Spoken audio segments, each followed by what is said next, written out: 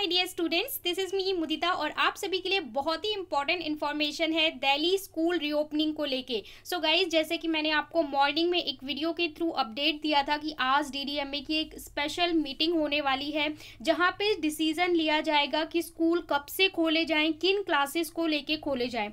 जो दिल्ली गवर्नमेंट है, वो पहले से ही अप्रोच कर रही थी कि दिल्ली स्कूल्स को खोलने की परमिशन उन्हें मिल जाए। जो लास्ट मीटिंग हुई थी, वो ट्वेंटी ऑफ़ जैन को हुई थी, जहाँ पे डीडीएमए ने बोला था कि बाकी चीज़ों को तो आप रीओपन कर दीजिए, लेकिन स्कूल को हम थोड़ा अभी होल्ड पे डालेंगे और नेक्स्ट मीटिंग में डिसाइड करेंगे कि स्कूल खोलने चाहिए या नहीं। तो आज हमारी फाइनल मीटिंग थी और इस मीटिंग में डिसीज़न ले लिया गया है। सेवन्थ ऑफ़ फैप से खुलने जा रहे हैं स्कूल एंड कॉलेज सो पूरी इन्फॉर्मेशन देख लेते हैं। Delhi school for class nine and twelve college to reopen from seventh Feb जैसा कि मैंने आपको मॉर्निंग में कहा था सेम वही चीज़ हुई है कि जो स्कूल्स हैं वो खोले जाएँगे सीनियर क्लासेस के लिए यानी up to nine to twelve that mean schools को रीओपन किया जा रहा है फॉर सीनियर क्लासेस यही मैंने आपको मॉर्निंग में बताया था कि सबसे पहले नाइन टू ट्वेल्व के लिए खोला जाएगा क्योंकि इसमें हमारी एक तो बोर्ड क्लासेस आ, आ जाती हैं यानी टेंथ एंड ट्वेल्थ आ जाती हैं और नाइन्थ और इलेवंथ हमारी अपकमिंग बोर्ड क्लास होती हैं. तो चारों क्लासेस काफ़ी इंपॉर्टेंट है इसलिए इनके स्कूल लिए स्कूल खोला जा रहा है.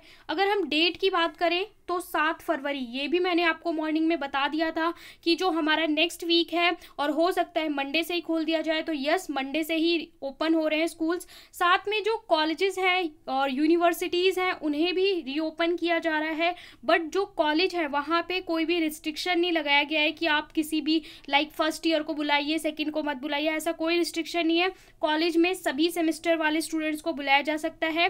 स्कूल्स uh, में कहा गया है कि आपको classes would be reopen only for classes nine to twelve that mean अभी आप केवल नाइन टू ट्वेल्व के लिए रीओपन करेंगे। फर्दर क्लासेस के लिए हम बाद में अपडेट देंगे। Okay D D M A today on Feb fourth twenty twenty two holding COVID nineteen review तो कोविड के जितनी भी गाइडलाइन है उनको फॉलो करते हुए स्कूल्स को खोलने की बात की गई है। सो so, यहाँ पे तीन हाईलाइट्स हैं। Delhi school college has been allowed to reopen Friday यानी आज से ये अलाउ कर दिया है कि सात फरवरी से आपको स्कूल से सर्कुलर मिल जाएगा कि सेवन्थ ऑफ़ फैब से आपको स्कूल जाना है। किस तरीके से जाना है? आपके स्कूल वाले आपको अल्टरनेट डेज़ बुलाते हैं या फुल स्ट्रेंथ में बुलाते हैं, वो आपको स्कूल के थ्रू नोटिफाई कर दिया जाएगा। School would reopen for class nine to twelve whereas no limit यहाँ पे वही बात कही गई है कि जो क्लास नाइन टू ट्वेल्थ है स्कूल में तो कहा गया है कि आप सिर्फ़ इन्हीं क्लासेस के लिए खोलिए, लेकिन कॉलेज में कोई भी रिस्ट्रिक्शन नहीं है। कॉलेज स्टूडेंट को सभी के लिए स्कूल कॉलेज खुलेगा but teachers vaccination has been mandatory यानी जो फैकल्टी होगी टीचर्स होगी, सभी का डबल वैक्सीनेशन होना कंपलसरी है।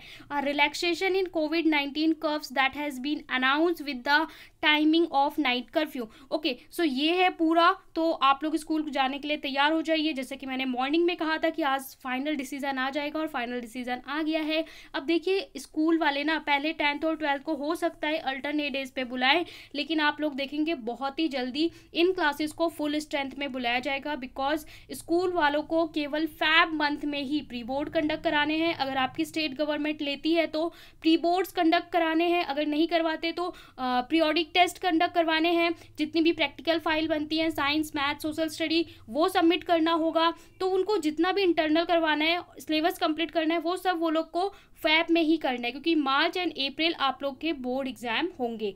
तो आई होप अब आपको पूरी क्लैरिटी मिल गई हो।